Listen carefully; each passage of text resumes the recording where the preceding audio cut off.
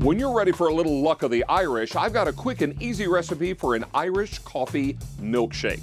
Now pull out your Vitamix or whatever blender you have in the house, and the first thing that's gonna go in is coffee flavored ice cream. So about two cups of this will go into our blender. Now this is Irish coffee creamer. You buy this in the supermarket in the flavored creamer aisle. Now we'll put in about a cup and a half of that. Did I mention this is no calorie left behind? If in case I didn't, I should.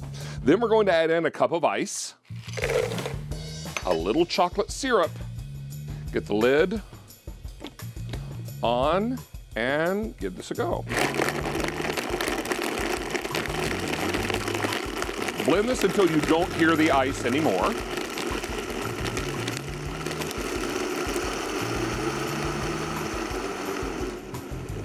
Beautiful. Now we're going to get this into milkshake glasses and then garnish it up really nicely to make it even more special. And then invest in some paper straws, preferably some green and white striped ones. Get those inside, and now you've got the perfect Irish coffee milkshake. Let's have a little taste. Mm-hmm. Enjoy.